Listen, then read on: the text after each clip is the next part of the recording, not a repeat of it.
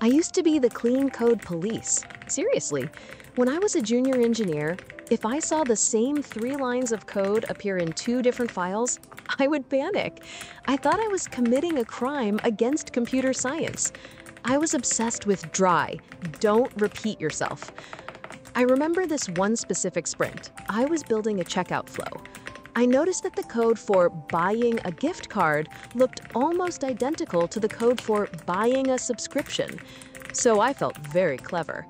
I abstracted them into one giant, beautiful, universal purchase handler. It was elegant. It was clean. I deleted all that duplicate code and patted myself on the back. Two weeks later, the product manager came over. He said, Hey, we need to change the tax calculation for gift cards, but only for gift cards. Subscriptions stay the same.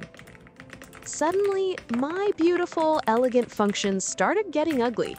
I added an if statement, then a week later, another special case came up.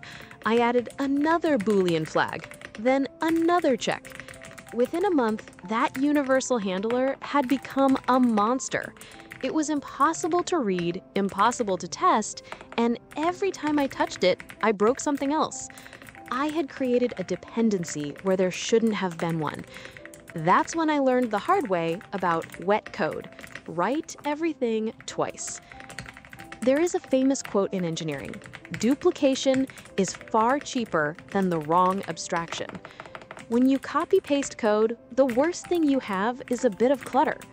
But when you create the wrong abstraction, you create tight coupling. You tie two unrelated business concepts together, and untangling them later is a nightmare. So now, as a senior engineer, I follow the rule of three. I allow myself to copy paste code twice. I only abstract it into a shared function when I see the exact same pattern for the third time. Don't be afraid of a little duplication. Sometimes it's the only thing keeping your code decoupled. Tell me honestly, have you ever created a universal function that turned into a universal headache?